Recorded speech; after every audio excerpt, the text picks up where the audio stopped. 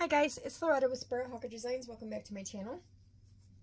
So most of you probably have heard, if you've been following along, that I am involved with, oh, lots of craft fairs this fall, more than I can handle actually. Um, so I thought I would come on. Most of the stuff that I'm selling at the craft fairs is crocheted stuff, but I am trying to put in a, a little bit of um, paper stuff. So I thought I would come on and show you two paper bag journals that I made, Christmas journals. These are for the craft fair, but I thought you might want to see them. And if the um, the paper products don't tend to move as well at the craft fairs, so whatever's left over will go in my Etsy store. So, but that probably will not be until um, December. so anyway, we'll start with Santa just a piece of um, calico. And like I said, these are made with a paper bag. So in here is a little pocket to store things. I'm hoping you can see that. Okay. ah. You know how I love my vintage pictures.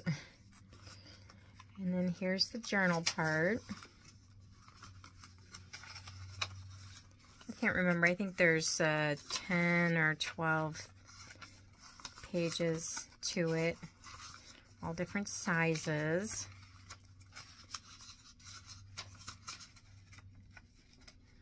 Oh, goodness.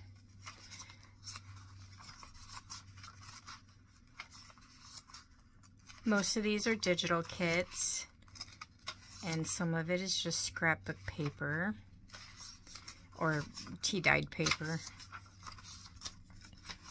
I don't remember, but it seems like there's a lot more than 10 pages in here, doesn't it? uh, anyway, and then here's a pocket.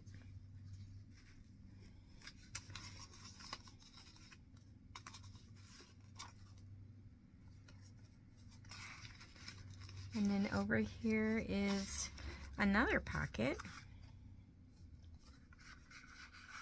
There's also a little, um, it doesn't go all the way down, so it's like, um, let's see. Yeah, it's about that deep. And that's from the bottom of, this is the bottom of the paper bag. And then on the back here's just some paper that um, they can put a photograph in or whatever they want. And there's this little thing here with a rusty paper clip. And there you go. And then this one,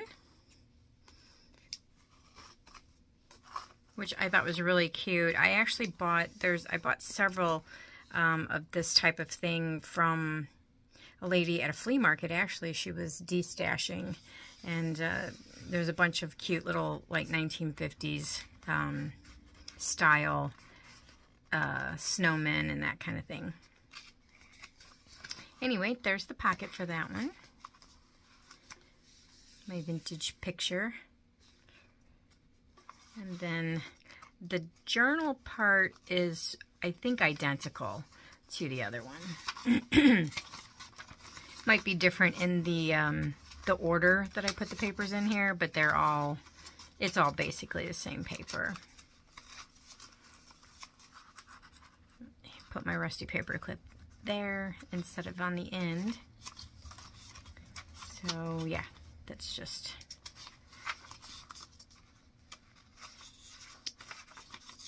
Um, and then here's the pocket on this one. This is also part of the stuff I got at that flea market.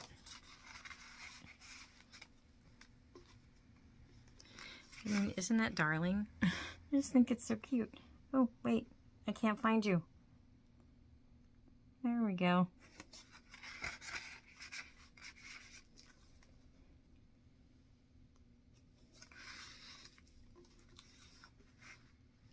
And then over here is a little pocket with a ticket and another little card.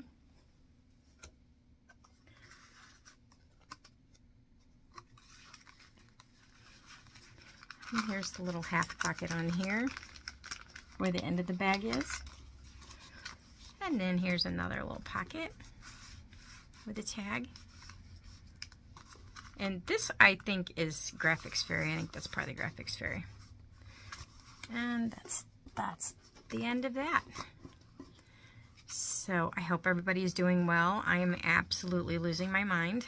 I am so, yeah, so, so, so overwhelmed with stuff for the, these craft fairs. It's just insane.